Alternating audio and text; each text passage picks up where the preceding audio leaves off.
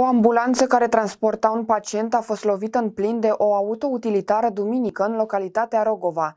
Pacientul a fost rănit, dar și cadrul medical și șoferul ambulanței. O autoutilitară condusă de un cetățean bulgar a lovit în plin o ambulanță care era staționată. Accidentul s-a produs duminică în localitatea Rogova. În ambulanță, pe lângă șofer, se afla un cadru medical și un pacient. Toți trei au fost răniți în urma impactului. Un bărbat de 34 de ani, cetățean bulgar, în timp ce conducea o autoutilitară, a intrat în coliziune cu o auto specială ce aparținea ambulanței. În urma impactului a rezultat rănirea ușoară a trei persoane. Cetățeanul bulgar s-a ales cu dosar penal sub aspectul săvârșirii infracțiunii de vătămare corporală din culpă.